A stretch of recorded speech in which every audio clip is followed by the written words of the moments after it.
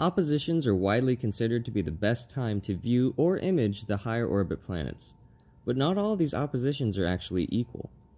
We're going to jump into that in just a sec, but first we're going to establish what exactly is an opposition. So, an opposition is when a body in a higher orbit is opposite the Sun to a body in a lower orbit. Based on how orbits work, this occurs approximately annually per higher planet for us here on Earth, and during these oppositions, the planets will be much larger than normal in angular size. But you might have noticed these distances between the planets at opposition aren't constant. Since the orbits of the planets aren't perfectly circular, some oppositions can put us much closer to our target than others. This is especially true for Mars, which has one of the higher orbit eccentricities compared to other planets. Additionally, the tilt of the Earth is going to impact how well you can see these oppositions. Your latitude during these oppositions will impact how high in the sky the planet is going to pass. For someone in Sydney, the Mars opposition of 2018 peaked at an excellent 82 degrees. Meanwhile, in Denver, they only observed a peak of 24 degrees. Due to the different periods of the different orbits, what positions will be best where is actually cyclical and can be predicted pretty well.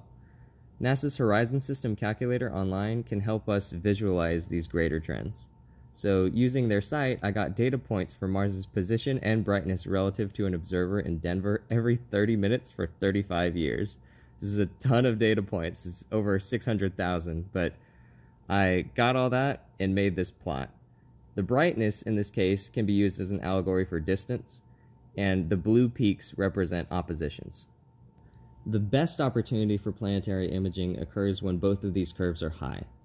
Because it's great when the planet's really close, but if it doesn't arc that high in the sky, it might be a little more difficult to get good images because you're looking through a larger amount of the atmosphere.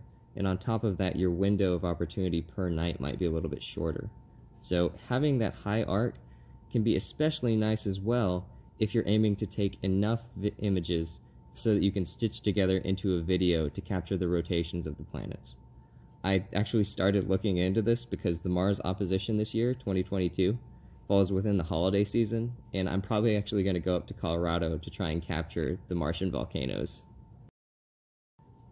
Then to wrap this up, here's some long period data for Jupiter and Saturn, which have much longer cycles owed to their much longer periods for their orbits, but also a much tighter range of opposition distances, largely due to their more circular orbits, at least compared to Mars. So that's all I've got this time, guys. Hope this was pretty informative and hope to see you next time. Thanks for watching.